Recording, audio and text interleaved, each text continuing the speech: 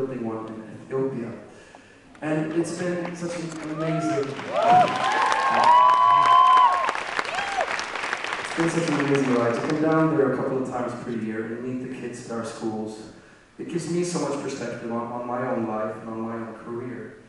I mean, despite the conditions they live in, many of them living with HIV, many of them living really, really poorly, still they spread so much energy, they give so much joy, and they have so much belief in the future. They're really my heroes, uh, and I want to dedicate this next song to them.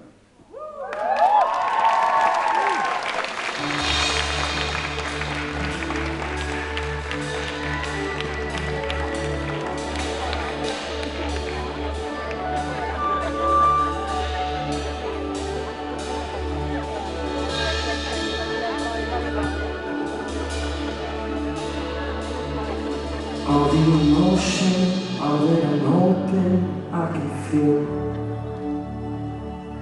All of the fire, all the desire can come back again.